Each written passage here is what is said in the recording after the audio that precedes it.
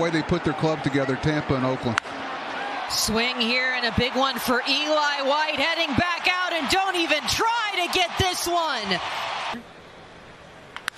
Escobar hits one way up in the air. Eduardo Escobar, goodbye.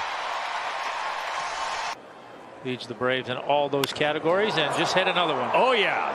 That one's headed for the bleachers. A long home run for Freddie Freeman on the first pitch. 1 nothing Atlanta. That one's hit well, center field. Garcia's going to turn around, and that baby's gone. Gallo cranks one deep center field. Taylor back at the wall. It's a two-homer game on another absolute bomb from Joey Gallo. Yordan on an 0-2 pitch drives one deep to right field, and that ball is gone. Yordan Alvarez. Here's the 0-2 pitch. Swinging a high deep drive right field.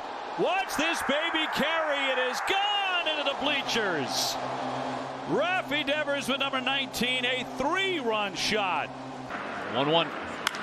Hammers it deep right center field. Right on cue. Big blast. Joey Gallo. 6 nothing. Four homers on the homestand. And a home run here in Tampa St. Pete. That didn't take long. Oh, man. Too sexy for the catwalk.